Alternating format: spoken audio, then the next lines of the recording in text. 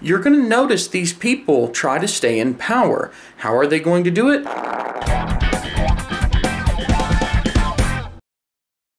Friends, something big is happening. I think you're about to see what I'm going to call the Great 180.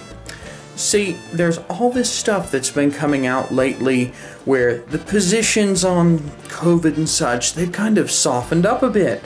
Quarantine? Oh, you don't have to do that for 10 days anymore. Now you only have to do it for five. Well, what I'm noticing is that people are, the mainstream people anyway, are changing their positions. So, what you need to do is pay close attention over the next few months or so. We have the 2022 midterms coming up in the United States.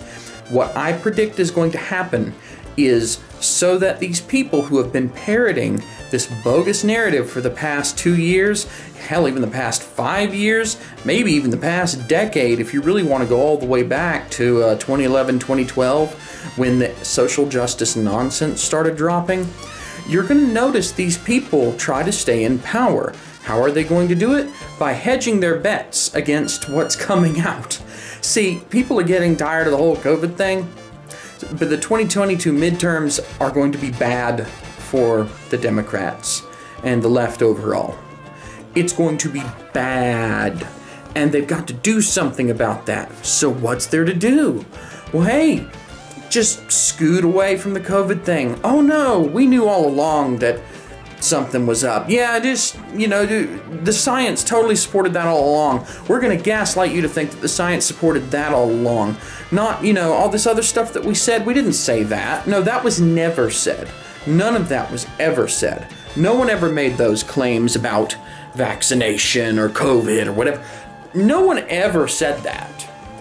You guys, you can't, you, you don't have any proof that anyone ever said that but it's right here on your Twitter from a few months ago. No one ever said that.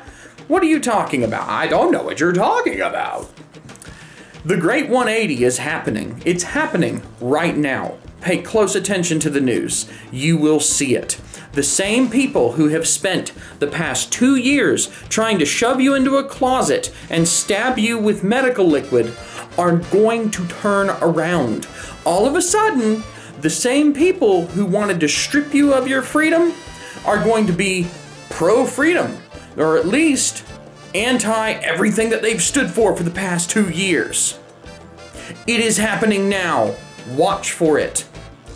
And any incidents that you notice happen to be uh, falling in line with the Great 180, leave them in the comments below.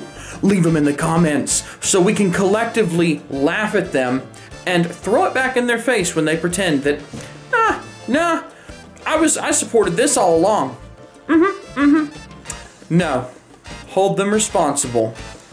Boom. Great 180. I'm, i just like saying great 180. It, it's got a nice ring to it.